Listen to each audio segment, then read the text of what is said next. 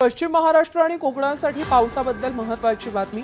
पुढचे तीन ते चार तासात रायगड आणि सिंधुदुर्ग जिल्ह्यामध्ये काही ठिकाणी मुसळधार पावसाचा अंदाज वर्तवण्यात आलाय.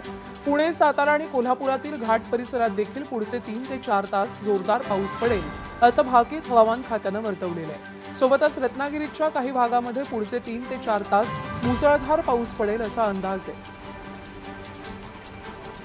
पश्चिम महाराष्ट्र आणि कोकणासाठी पावसाबद्दल महत्वाची बातमी. पुढचे तीन ते चार तासात रायगड आणि सिंधुदुर्ग जिल्ह्यामध्ये काही ठिकाणी मुसळधार पावसाचा अंदाज वर्तवण्यात आलाय. पुणे सातारा आणि कोल्हापुरातील घाट परिसरात देखील पुढचे तीन ते चार तास जोरदार पाऊस पडेल असं भाकीत हवामान खात्यानं वर्तवलेलं आहे.